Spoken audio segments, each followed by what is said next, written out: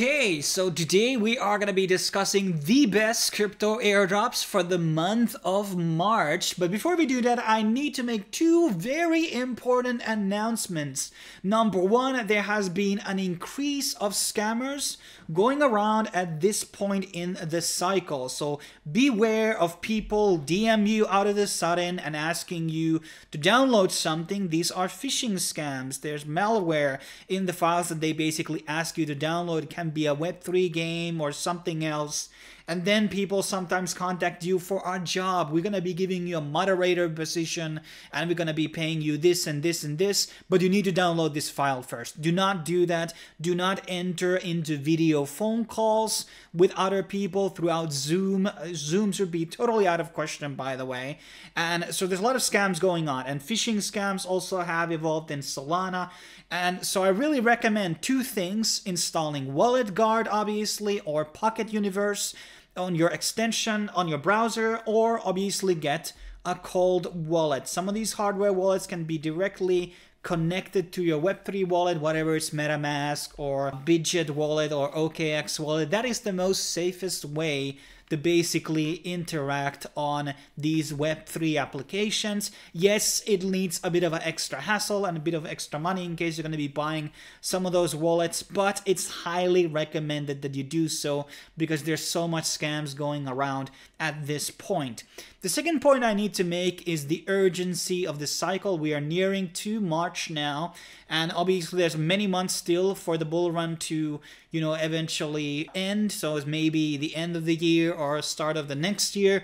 Nobody really knows, but what I'm trying to say is that there's like at least 300 drops which are going to be happening this year. So there's a lot of things to grind and now, if ever in your life you want to be putting all things aside and allocating much time as possible as you can to this airdrop farming, because there's not going to be anything like this in the next year or the year after. It's going to be very minimal compared to this. Yeah, I think in the future there will be some good airdrops still, but this is going to be the big airdrop cycle, and they're not going to be these free making money opportunities like uh, in in the next cycles. But let's let's move on. And before we go into the eventual list, which is actually filled with a lot of good opportunities, I do want to remind people to check out my airdrop spreadsheet, which I've basically been mentioning on every single video. But who knows, there might be new people to the channel. And this can be found on the description down below. It has a lot of updated information about, well, there's SoFi codes, there's EVM chains listed out, airdrop, airdrop tools that you can use to check whatever you're getting allocation, and things like that. When I'm updating this on a daily basis, so make sure you're going to be checking it out. Okay, starting off, we had the Linea Park quest line. We did talk about this thoroughly already on my recent Linea video. Go check that out in case you want a full rundown. But right now, there's second week, which has started out and we got five new quests here. Most of them seem to be working. There seems to be bugs on the Yooldo one right now. I'm not being able to complete it. And then there is the Ender's Gate, which hasn't started out as of right now. So that's going to be starting out later. I think it's going to be in a couple of days. I'm looking three days here. So very, very soon. And you need to do the proof of humanity tests in order to get points on the Linea Park. And this is just saying, you know, probably one LXP is probably equaling minimum of one dollars. It could be three dollars. We don't know at this point, but there's going to be gas costs in this quest chain, and that's fine because the value of the actual Linea points and the experience is very very huge. So you just have to take it to the chin and continue. But this is by far the most important thing on this list. Moving on we have this new chatting like a, it's like a new telegram slash discord called Beoble. And they actually did a listing right today in matter of fact on multiple different exchanges. This is february 28th as i'm recording this video and so far it's been released on multiple big exchanges here, Binance, MEXC, and Coinbase. And they are going to be doing an airdrop. And you can join into this platform, and there's different types of rooms that you can join. There's like different cities like Tokyo, Seoul, I think there's like Los Angeles probably here. All the major cities are here, okay? And they are free to join. I think for the most part, there might be some small things attached. People are also spamming referral links here. I don't know how effective it is. Um, there's, not really a lot of moderation, so you can do it pretty freely. I'm just saying. So this might be a great place to get referrals in case you want to. We have our own room here as well, which I'm going to be le leaving also in the description. And by chatting here, you are going to be getting points by doing so. So that's actually pretty good. And there are a lot of lot of different criteria here. So let's go on into running our own your chat room is going to be giving you points. Doing daily GM, um, GMing three times a week, sending 100 messages per week, following accounts, reacting to things.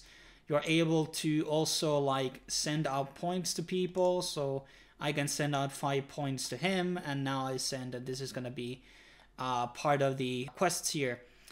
And then obviously gonna be getting stuff from referrals. I'm gonna have limited codes there. I don't know how many people can use them, so basically join before you can do. And this is all gas free. There's no money attached and just try to get many points as possible, okay? And this is different from the other SoFi platforms because those are very influencer based. This one allows basically everybody to uh, start grinding. And then there are like NFT tabs here, and what else do we have? Well, I don't, I don't think anything else we need to really cover here, but you can create your own rooms, join many rooms. Some rooms might have a cost to enter, but the points are very non-existent right now so go ahead and pay the things because the points are not the spending of your points might be a one criteria just saying that but let's move on. We have Intract quest line for starknet called the defi spring. This is going to be going from 22nd of february till the 22nd of march. One month and they saying one quest every second day meaning 15 different quests in total. Four, well, five have been released right now, and the next one is going to be in two days. Well, I guess they already kind of like backpedaled on their promise of having quests every second day. Well, actually, today we had one. No, so never mind that. And these are, well, the first one is really easy, just connecting your socials. And the other ones are really involved with uh, providing liquidity into these exchanges which just on different pairs. The USD to USD is probably one of the better ones because there's not going to be a lot of impermanent loss there. Just saying. And the question really is that will Starknet do another allocation for the people who this do this campaign? And are these projects, because we have to understand that none of these projects here on this list, there's seven different AMMs um, here on this list and lending protocols, none of them have their tokens yet.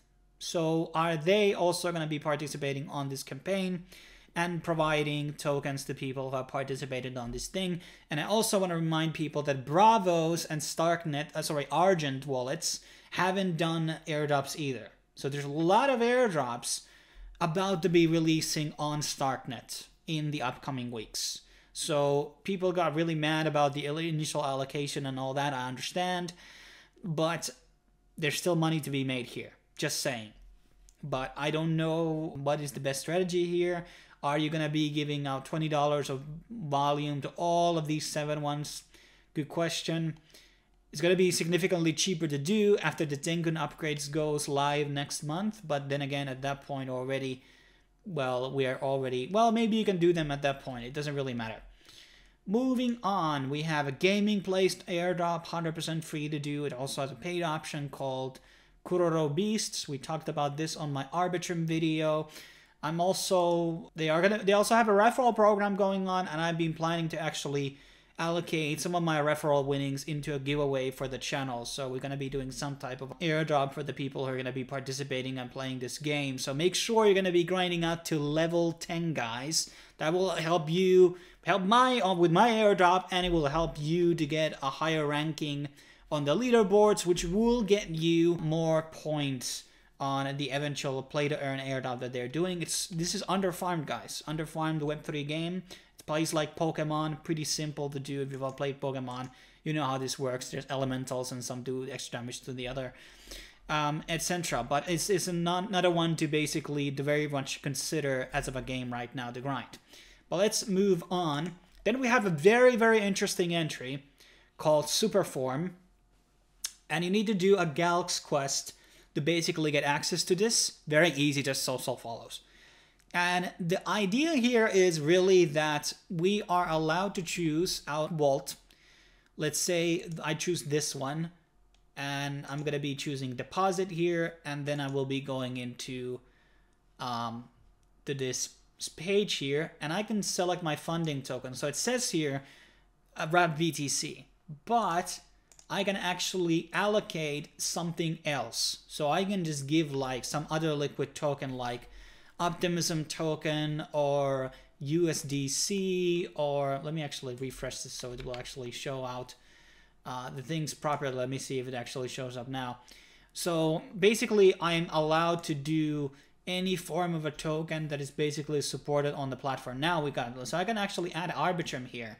And even though this yield farming is happening on Ethereum, I can also contribute the money from a different chain. So this is kind of like a lot of loops and hoops and things. What, so what's the big idea, you ask?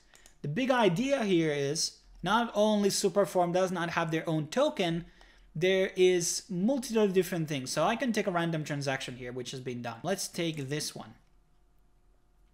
And here we see the things that the transaction is doing, like what, what are these things that are happening. So one of the big things here we have, for example, it did a bridging on Stargate. Then it got confirmed on layer 0 and Hyperlane. So it's going through to different layer 2 bridges and L1 bridges and using different types of protocols which are all tokenless. So basically, as, some people posted initially on Twitter about this strategy, is that it's basically in some cases farming you six different airdrops with one single transaction.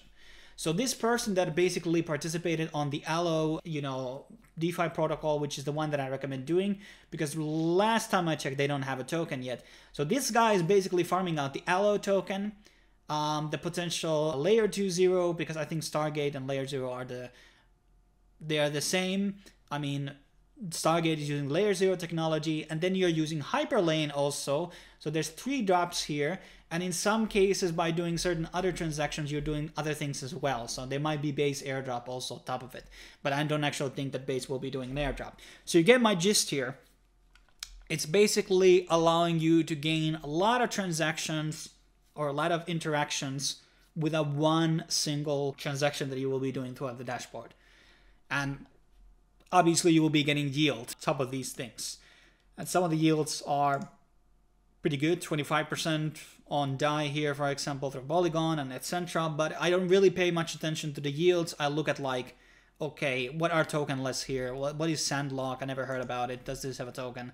And this is what I would be interacting with. So a lot of different yield strategies here, which are going to be allowing you to interact with these uh, protocols, which might be doing airdrop. So very, very good in, in uh, efficient strategy to to look into. But let's move on.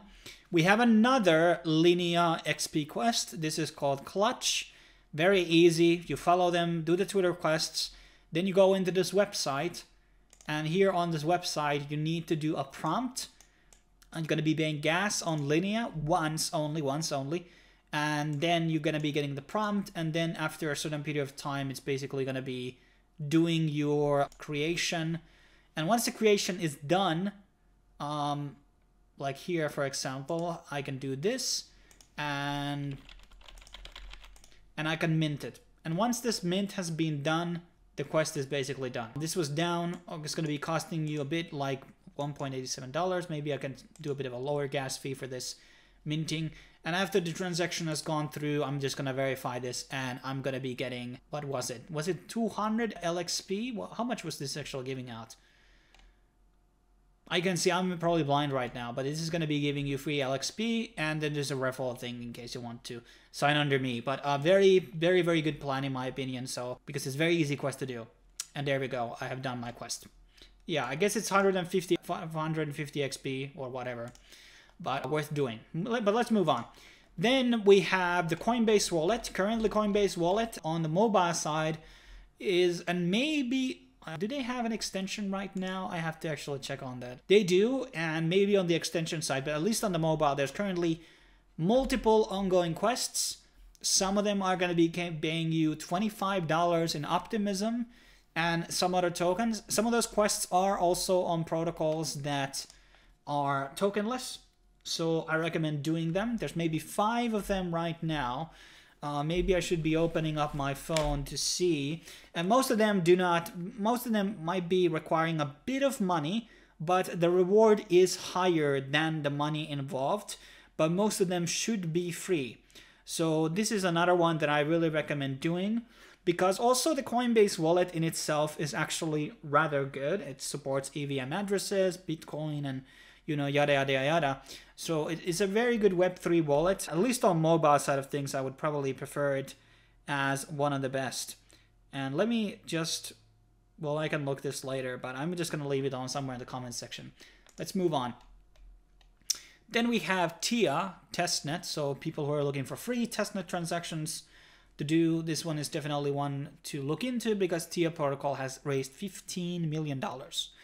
So anything that has raised $5 million or more is very, very good to uh, farm as an airdrop. And it's just like really doing email linking and filling your profile and connecting a GitHub account. And it doesn't need to be active GitHub account or anything like that and then there is like you can contribute your own OSS project. I don't know how to do that. This is like I'm not a developer, so this is going to be giving you more points though. So if you're a developer, you should definitely uh, pay attention to that. And then there's going to be more quests coming on uh, in this uh, in the future. Then there's going to be staking. I probably recommend doing some type of staking once it's actually uh, going to be you know coming out. And there's going to be a new quest line coming out in six days and these might be over after yeah the long quest line is going to be ending in six days then it's going to be jasmine so they're going to be going through all the teas. I hate tea by the way. I just really don't like it. But yeah pretty easy quests. And yeah just do them. Okay just trust me. Then we have a big meme coin launching on polkadot called DED. And it's actually been getting a lot of attraction because Polkadot doesn't have any airdrops really going on right now. And it's simple airdrop. You only need to hold Polkadot, and based on the Polkadot holdings that you have in your wallet, you're going to be getting DED. But there's also the Zealy campaign right now, and at this point, I'm like thinking that this is also going to be getting you some extra rewards. So you might want to consider doing these. These are pretty easy, no money involved. Um, doing invite quests, quiz. I think you might need to like download something or at least provide proofs that you downloaded something. I mean, I mean they're not really that strict on those rules, but whatever. A couple of social tasks. It wasn't really that hard, and this is probably gonna be a, like a big token at least on the Polkadot ecosystem. So. Um, and I don't know if you're going to be getting paid if you're going to be holding Polkadot on an exchange. Maybe Binance is going to be allowing it, Kraken, but not all exchanges. So withdraw your money from your Polkadot to your own wallet. I recommend the Talisman wallet. Then we have a really big trending DeFi protocol called Ethena. And they have these, they have their own like USDE, which is their, like their own liquid token. And you can like lock it or stake it. And let me see if I can actually find. So here you can get different amounts of rewards so by buying and holding the USD, you're going to be getting shard bonuses and then locking it, um, providing LPs is going to be getting you X shards and these shards are going to be eventually playing into uh, eventually to the airdrop.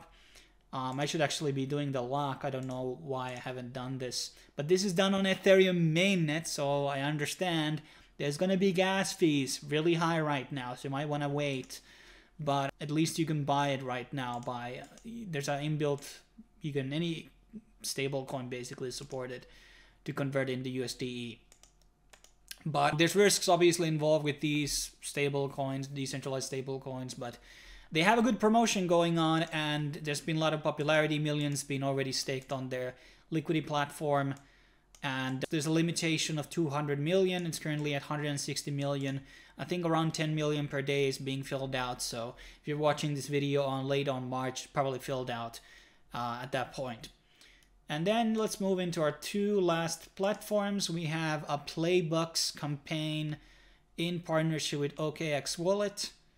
And it's simple Twitter quests. and daily check-in which I think might cost gas in Binance Smart Chain. Yeah, 6 cents per check-in. And this is going to be getting you points. I don't know, is there any other ways to basically get points? I mean, you can buy these lotto things. I'm not buying them myself, but it's something you can do. And then there's a leaderboard, obviously. And yeah, that's that's pretty much. There's not a referral program for this one, but um, yeah, another one to basically look into. I don't know much about the Playbux thing, but hey, it's listing on OKX, which is a big exchange, so might be worth something. And then our very last airdrop, we have the BSquared or the B2 network, which is one of the many Bitcoin layer 2 blockchains right now. They have a similar campaign to Manta and Blast. Obviously, many people have differing opinions about that, but the one difference with this one is it has unlimited referral code. So basically, you can sign many people as much as you can without having to worry to meet the milestones. So that's something I actually like about this thing. And you can bridge multiple different assets here. So it's not just uh, from BNB chain, you can put FDUSD. Um, from Polygon, you can deposit Matic. USDC, USDT ordinals from the Bitcoin mainnet or sats. So a lot of different things you can basically bridge in. And I have so far put out like roughly $400 here. Maybe I will be allocating more. And the unlock was, I believe, claiming assets on March. So I guess next month you're gonna be, no, withdrawals are gonna be on post-April and yeah. And they do have another social media campaign as well which doesn't cost you any money just has a couple of tasks and that's another way to earn also. I'm gonna be leaving that link also down below. But that's basically what we have to do. As you can see a lot of things going on. I had to really choose which ones to leave out and which ones to leave in because as i said we, we are expecting almost like two airdrops per day for the rest of the year or something. It's gonna be absolutely crazy and a lot of these things haven't been even announced. There's going to be ninja airdrops coming out like out of the windows and etc. But now it's time to grind. Now it's not time to cry and whatever fuck you've been doing the past months. Let's grind together and join the Telegram and the Discord for the latest alpha and the latest information. And obviously check out my airdrop spreadsheet and my airdrop playlist here on YouTube where you can find guides for specific chains. We got still a couple of ones to cover. X1 testnet probably something that people want to see, and maybe you're going to be doing some type of poll for a next one as well. Thanks for watching. I will be seeing you in the next video. Cheers.